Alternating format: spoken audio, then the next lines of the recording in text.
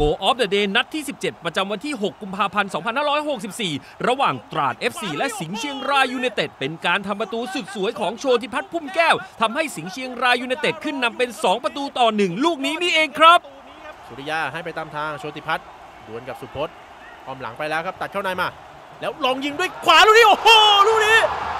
สุดๆเลยครับโชติพัฒน์พุ่มแก้วครับ ประตูยอดเยี่ยมประจำสัปดาห์รออยู่ครับลูกนี้ สุดยอดจริงๆครับประตูนี้ครับของทางโชติพัฒน์นะครับโอ้โหยิงด้วยขวานะครับคมกลิบเลยครับบอลโค้งนี่เสียบสามเหลี่ยม เป็นประตูสวยงามสุดๆเลยครับให้ทางเชียงรายขึ้นนำอีกครั้งหนึ่งครับสองประตูต่อหนึ่งครับแล้วก็เป็นประตูทีสี่4 ในไทยลีกฤดูกาลนี้ของทางโชติพัฒน์ด้วยนะครับนี่ขึ้นมาเป็นนาทีที่ 57 นะครับเชียงรายนำอีกครั้งหนึ่ง2ต่อ1